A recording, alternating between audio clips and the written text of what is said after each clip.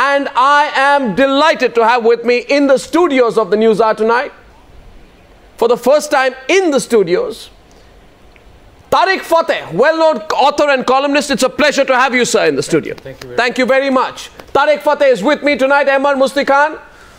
Well, we come closer together on this. I want to start with you. What would you say first to your colleagues from Pakistan now that SAARC has been scrapped? Is it time they should learn some lessons? What would you say to them, sir? Well, they've identified themselves primarily as uh, B-grade Arabs or C-grade Central Asians.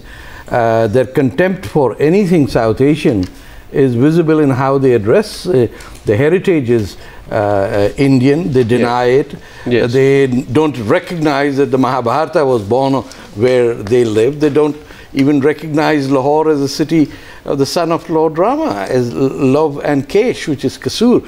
So I think it's a very wonderful thing. They should stay with the Organization of Islamic Countries right. or associate member uh, with the Arab League, uh, you know, because the Arab League has a B grade membership of Mauritania and Somalia, non-Arab Arabic-speaking countries who join it because, you know, somebody's got to do the cleaning. Why so, should why should SAARC be held hostage because of Pakistan? Why don't we? I mean, if Pakistan does not deserve to be in the SAARC, no, no. Then, then why, why have a SAARC including? Let's, let's just get on with it. It was on, it, based on goodwill. When in goodwill. 1985, when in Bangladesh it was formed, there was an attempt, and it's always been with India.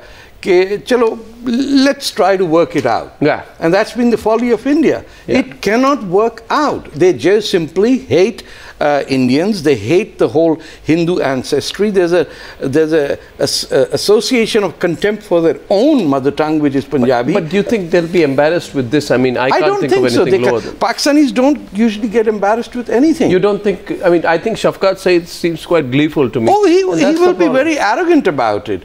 वो तो कहेंगे खस कम जहाँ पाक you know what does that mean what does that, that means ke, gone is the devil let's play with the pious so we can go back to saudi arabia and oman muscat kuwait.